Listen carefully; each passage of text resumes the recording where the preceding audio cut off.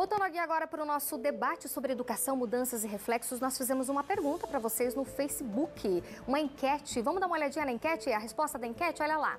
Nós perguntamos: você acha que a relação entre a família e a escola vai melhorar pós-pandemia?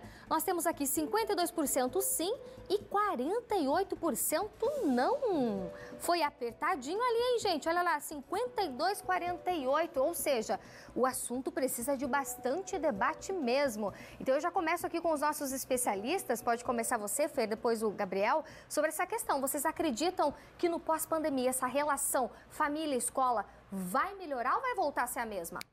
É para melhorar, né?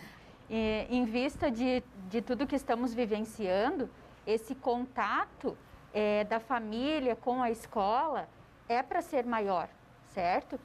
Em, em, em termos de saber né, como agir com os seus filhos, enfim, neste momento, e também nessa valorização do profissional que é o professor, e que os pais estão identificando o quanto é importante essa pessoa na vida dos seus filhos, certo? Uhum.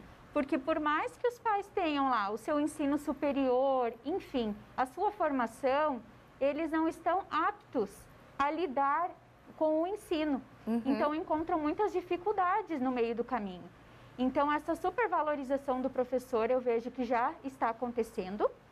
E esse contato família-escola, ele precisa, já precisava ser muito maior, certo? E agora, com a questão da pandemia, esperamos que sim, que esses laços se consolidem e que caminhemos juntos, professores e pais. Isso aí. Gabriel, e a sua visão? Parecida? Parecida, bastante semelhante. Eu acredito que é, melhore a relação, principalmente porque os pais tiveram agora uma visão do que é ser professor, né?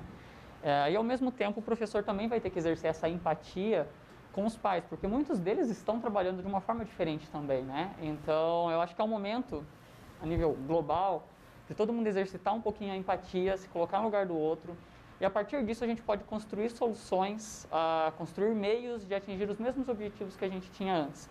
Então, eu espero, né, a minha esperança é de que realmente melhore, uh, até porque não é só mais agora o conteúdo, né, é a saúde da criança, que está é, tá muito mais interligado, né? É a saúde da criança que depois vai para casa, esse pai depois vai para o trabalho. Então, a tendência, e eu espero que aconteça, é que, que essa relação melhore, ela fique muito mais afinada uh, e proativa e positiva. É isso aí. Quero agradecer imensamente a presença de vocês dois hoje aqui no nosso debate sobre educação. Muito obrigada, Fernanda. Eu que agradeço. Muito obrigada, Gabriel. Eu que agradeço. Espero vê-los mais vezes aqui, né? Porque nós temos esse quadro, então a gente toda semana, toda quarta-feira, a gente está debatendo um tema diferente aqui. Muito obrigada mais uma vez, uma ótima tarde para vocês, obrigada. viu, gente? É isso aí. E na semana que vem nós vamos debater o tema família. As mudanças que nós tivemos no seio familiar. Essas mudanças elas vieram para ficar? Como está a questão da sanidade dessas famílias? Vamos ter especialistas também debatendo o assunto família na próxima quarta